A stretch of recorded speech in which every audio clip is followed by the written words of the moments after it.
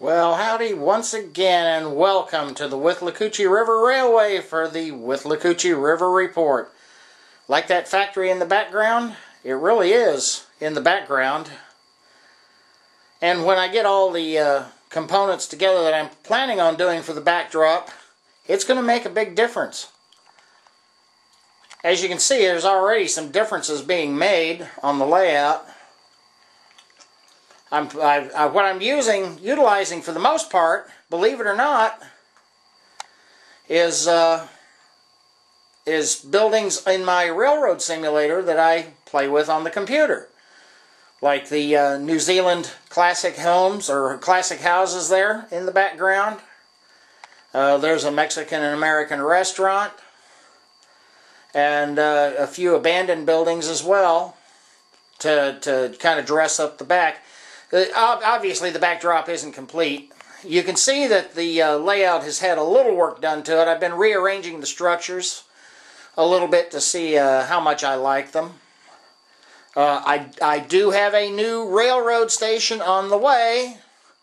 I got one on eBay, so I will be uh, I will be hopefully having a station on here soon that I actually like.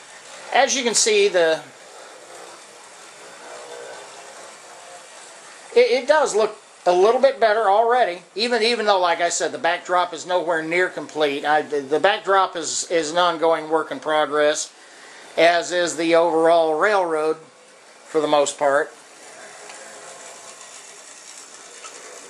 Yep, that little H9 still runs good. As you can After see, I've actually started working on some things over here. Oh, you recognize that picture, do you? Yeah, I kind of copied that one off of uh, the uh, Cena King website. It had words and stuff all over it because it was uh, basically a uh, photograph that uh, was used in advertising and had all of their links on it and everything else. Well, of course, when I copied and saved the photograph, I, I put it through uh, some photo enhancement. Makes all the difference in the world. And then there's another couple of abandoned structures off out, out of my railroad simulator. Uh, what I've done is I mount those, I, I cut them out, after uh, taking a screenshot, I print them out, cut them out, and then uh, fit them to a uh, piece of black foam board. And uh, it really is, you know, you, you can see that they that, that there's a little potential there. I'm still working with them, so it, it's not perfect yet. I'm trying to get get it to where I can start putting in some scenery and some details, put in a lot more vehicles and and you know figures and stuff like that and start bringing this layout to life a little bit you know get the get the scenery in. I've still got to do that corner yet.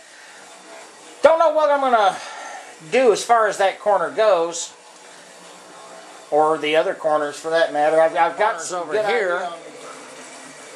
that one and that one.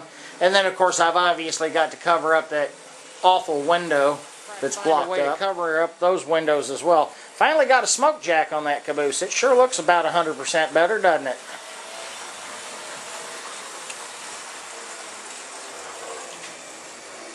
Anyway, that pretty much covers it up for uh, this week on the uh, Withlacoochee River Report.